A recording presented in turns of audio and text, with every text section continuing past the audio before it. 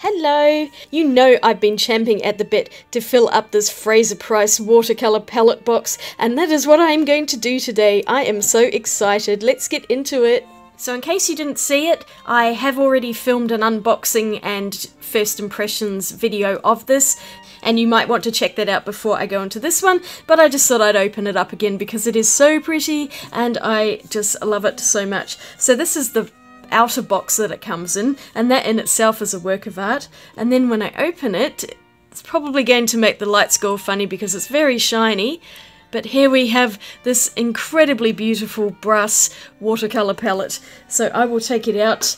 I'm still not quite ready to get my fingerprints all over it, so I'm going to use my white glove, which is still on the desk. I did not put it away from last time because I knew I was going to pull this out very quickly again.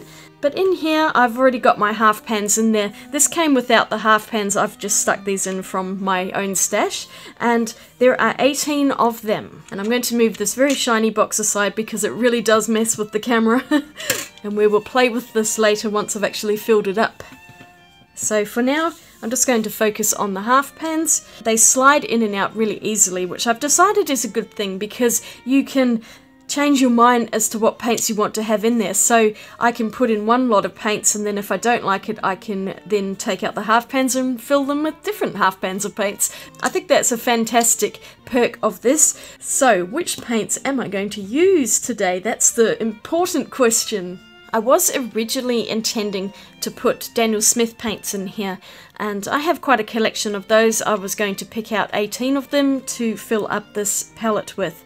But I've decided I'm actually going to do a different thing for that, and you will see in an upcoming video in the not too distant future what I have done with all of my Daniel Smith colours. So don't forget to subscribe so you can view more of my videos and click that notification bell to let you know when my next videos come up. I post twice a week, yay! I was looking in my watercolour drawers to see what other paints I have, and I came across these. These are Maimeri Blu watercolours and I will show you the ones that I had in there. I have 13 of them, which is a really strange number, I know. But I had this tiny palette. It was actually a makeup palette that I turned into a watercolor palette. And do you think I can find it anywhere? I have hunted high and low, but it has disappeared. I think it's in one of my old travel bags, but I just cannot find it at the moment. So I barely use these paints. I only squeezed out a tiny amount. The makeup palettes were maybe a quarter size, so a quarter half pan, something like that. So I've barely squeezed out any of these paints and I've only used them maybe once or twice before I ended up losing the set, which is really brilliant. But I have just this random assortment of Maimeri Blu colours. Now these are the old paints that they had. These are in the older design. They have since actually updated all of the colours and changed I think a lot of the formulas and also the packaging's completely different. These tubes are 15 mils and the new tubes are 12 mils, so they've actually downsized them.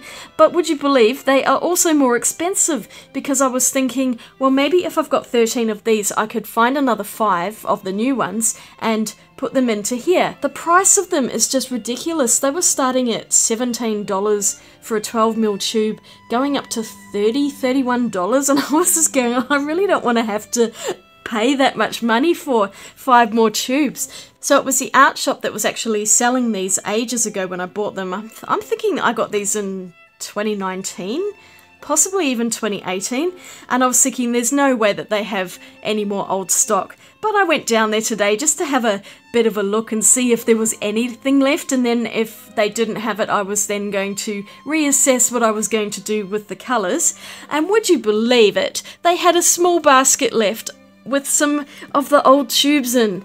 Now they are looking a bit battered, but they were 30% off their original price, and the original price I think was cheaper than what they currently cost. So they were quite reasonably priced. It ended up being about just over $40, which is a bit more reasonable than my calculations, which were anywhere between 85 and 130 or $150 just for five tubes. I was just thinking that is insane. They actually did not have that many colors left, and this is going to be a really interesting palette because I've managed to get colours like yellows, reds, and blues, but they may not necessarily be conventional yellows, reds, and blues. They're all just over the place, and it was just basically luck of the draw as to what they had in there and which ones I decided might look quite good. So these five here, I have absolutely no idea what they look like, other than looking briefly on the internet at some tiny little swatches and trying to just guess what the colours are going to be like. So let me put these in order and we'll see what we've actually got here. So I have three purples, although this one is more of a magenta colour. I have two reds, three yellows, one Naples yellow reddish, which is like a Caucasian skin colour. I've got three blues, three greens, and three browns. These are Italian paints. This is their professional line. The Venezia ones are their student line. I will just quickly read out the colours. So we have Verzino Violet, Garnet Lake, Permanent Violet Bluish, Crimson Lake, cadmium red light, Indian yellow, cadmium yellow light, Naples yellow light, Naples yellow reddish, ultramarine light, Berlin blue, not a clue what that one is, Prussian blue, permanent green light, permanent green deep, sap green, transparent Mars brown, transparent Mars red, and Van Dyke brown. So I'm going to pour them all out and then we'll swatch them and see how they actually look together as a palette. But I'm quite excited to use them.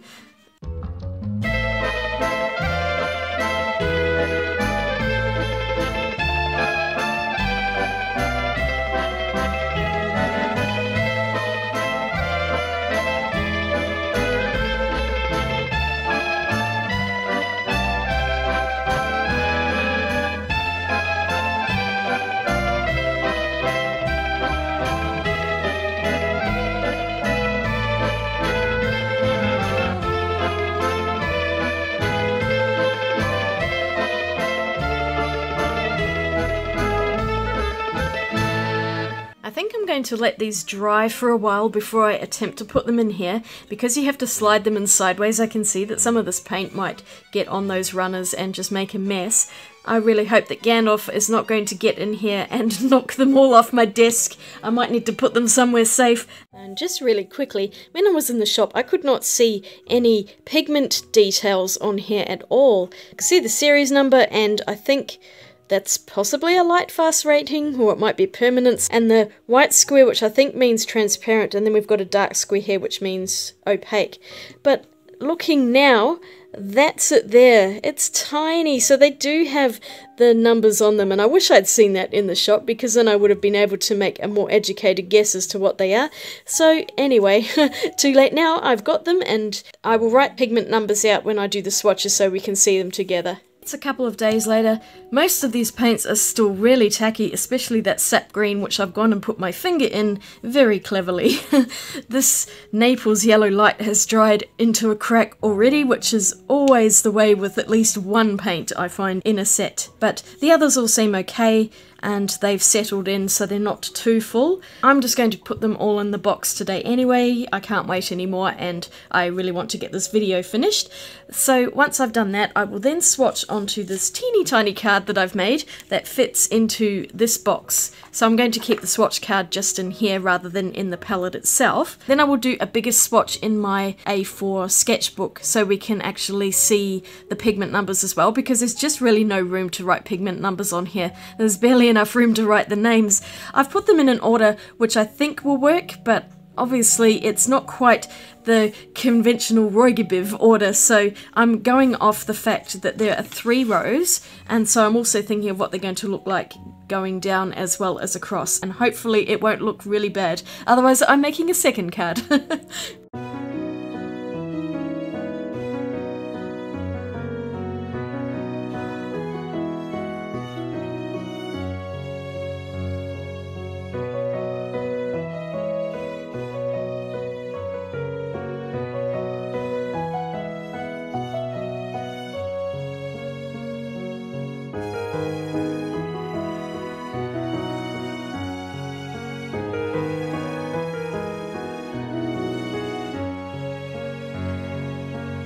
Okay, that's my first attempt. I think that is going to really bother me being there. I really want to move that to the end. I think the cadmium yellow needs to be next to the Indian yellow, then the Naples yellow light, then the Naples yellow red. The other ones I think I'm just going to leave as they are, and I will just redo this really quickly because it's just going to drive me nuts. I also have a little square of paper left, so that will fit on there quite nicely.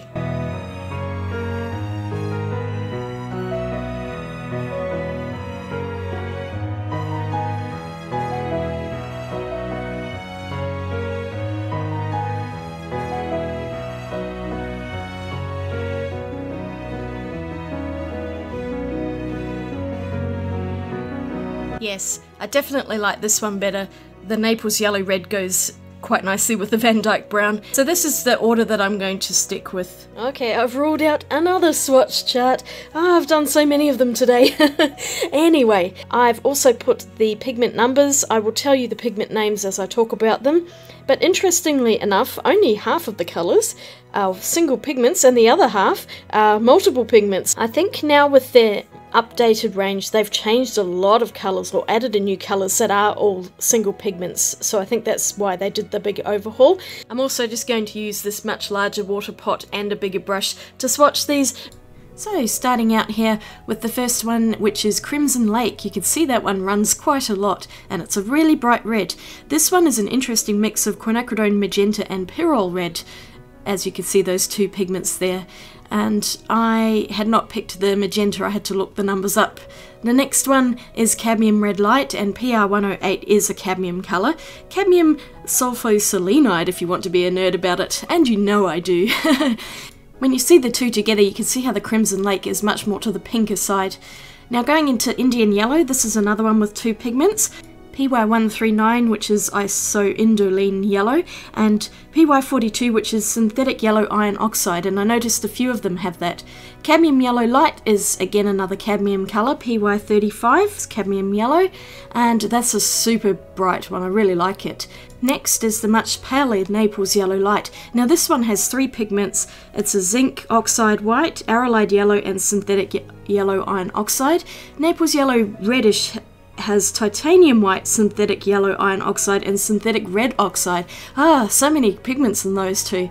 I really love the permanent violet bluish, but that is clearly dioxazine purple and the pigment PV23 is indeed dioxazine violet. I picked it straight away when I saw the colour, I didn't even need to see the pigment number for that, it's such a distinctive one. Garnet Lake also has some dioxazine violet in, but it's mixed in with PV19 which is quinacridone violet, so it is a more reddish version of it. I just liked the look of the little swatch of it on the picture I saw, so that's why I chose that one. Verzino Violet PR122 is clearly quinacridone magenta. I don't know why they call it a violet when it's a magenta, but oh well, what do I know. anyway, that PR122 was also present in the Crimson Lake, the first swatch I did. Going into transparent Mars Red and Brown. Now these two are the exact same pigment which is PR101 and that is a synthetic red iron oxide but you'll see that the Mars Brown is a bit deeper of a colour than the Mars Red. And they're quite nice together although they're very similar when they dry and extremely transparent colours as the name would suggest. But they're quite useful and I quite like those. Van Dyke Brown is a much darker one and that's got a mix of uh, PBR7 which is natural iron oxide and PBK9 which is ivory black a much darker brown and one I'm really glad I have because you can mix that brown in with some of the blues to get a nice grey or black sort of colour. Ultramarine Light, standard PB29 and that is ultramarine pigment. I don't know what they do to make the difference between light and dark because I think dark is also the same. Berlin Blue, PB15 colon 1. This is phthalo blue leaning towards the red shade. This is a nice colour, although I really do prefer PB15 colon 3, which is a bit cooler. When phthalo blue yellow shade, is it? Or green shade, I can never remember. Going into Prussian blue, this wasn't quite as dark as I would have thought, but it is definitely PB27, which is a Prussian blue pigment. And moving on to the greens, the permanent green deep I don't mind. It's a mix of phthalo green blue shade and that yellow is benzimidazoline yellow. Weirdly enough, permanent green light is almost exactly the same, but it's got phthalo green yellow shade with the same benzimidazoline yellow. I did not care for this one at all. I was really hoping deep and light were going to be a much bigger difference in shade, but unfortunately they're really close together, super annoying. And their sap green looks more like an olive green to me, with three pigments in this one. So here they are all dried. I'm liking the colours. I think they're really quite vibrant, a bit more vibrant than I was actually expecting. None of them really have much granulation. There's a tiny bit in the Van Dyke brown that I can see, maybe a little in the ultramarine, but that's about it. They're pretty smooth otherwise. The thing I'm most disappointed about is that green. It is so similar to this one, and this one I had quite a lot of trouble getting it to re-wet, so if I change out any, it will be to get rid of the permanent green light and to put something else in, preferably a darker green because once again I have bright greens and not a nice dark green, but hopefully I'll be able to mix something out of the yellows and blues and greens that I've got, so I'll see how I go. Anyway, I'll do a painting over here. I've sketched out some autumn leaves, but they were in these multiple colours. It's kind of a fantasy picture. Got everything almost ready to go. I'll just put in some of this water. There we go. That's the trouble, that that is going to stick out. So maybe I'll just put it like that. and I will get a couple of my actual travel brushes that I have. So I'm going to use these get some painting going, use these mixing trays, and I will see how this palette goes. Let's get into it! I tried to keep my brush strokes quite loose in this and I painted all of the leaves in different colours. If you see the reference image, which I hope to remember to put in the description below, you will see that they are more rainbow coloured than what I would normally expect autumn leaves to be, but it was just a really good chance to mix in different colours together both on the palette and also on the paper itself, just blending in a few of the different colours using wet on wet technique and just dropping the paints on so that they merge together. That was really fun and I find if you do it that way you have much less chance of the colours turning into mud than if you try to mix certain colours on the palette. So I just did a combination of both. I found that the palette itself was really useful and there was enough space for me to do my little mixes over there. I did not run out of space at any time during this painting. I was obviously using a fairly small brush though, so I mean if you had a really big brush you would use those mixing wells pretty quickly. But if you're somewhere with just a small setup and a small sketchbook, then this palette is actually really useful for that. The only problem is, is it's very heavy, so I would really want to put the box on a table. I would not want to hold it in my hand, although you can do, but yeah, it's just super awkward. And because I'm also scared of dropping it on the ground and making a huge dent in that beautiful brass, I would be a lot more cautious taking it outside. I'd prefer to be somewhere where I've got a nice table to rest it on. Now I'm going into the background, painting around the leaves that I put in and I just randomly picked colours for this. I was dropping them in, trying to get more of a darker background to make the leaves stand out. I don't know how successful I was, but it ends up being a very bright rainbow picture and I ended up really liking it. Just the colours were so vibrant and I have to give it to the Maimeri Blu paints that almost all of them were really great except for the permanent green light which just did not want to re-wet and is most definitely my least favourite in this palette. Otherwise, all of the other colours were really great. And together they make a rather eclectic, but actually quite useful palette of colours.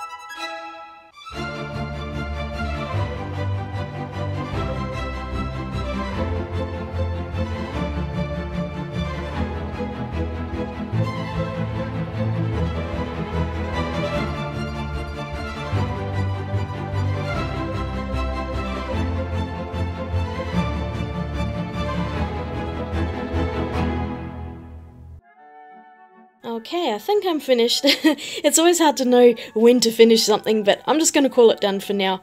And I'm overall really happy with the Maimeri Blu colours that I have in this palette, except for that permanent green light, it is just not working.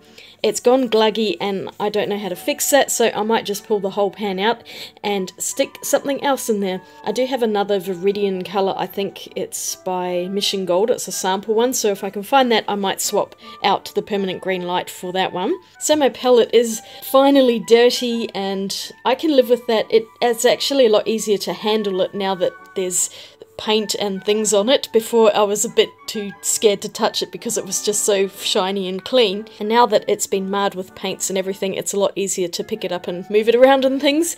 And you could see this pot has gone pretty dirty both sides are now really dirty. The rinse water stayed quite clean for a long time, but after a while I just kept forgetting and sticking it in the wrong ones. After a while, I just got sick of it and ended up using my large water container, which I also have just here, and you can see that that one's quite dirty too. So this is useful in a limited way for small paintings. I think if you've got an A5 book or anything smaller like that, then this set is a lot better for that. But doing a painting on an A4 size, it takes up quite a lot more paint and therefore a lot more water. The paints, there are plenty of them, so the painting side is not such a problem. It's just the cleaning of the brush that is an issue. But in a pinch, I mean, it's designed to be a travel watercolour palette, so, you know, you're not supposed to be able to paint gigantic things with a small pot of water, and I would just recommend bringing a separate pot as well, maybe one of those collapsible ones because those are always easy to carry anyway.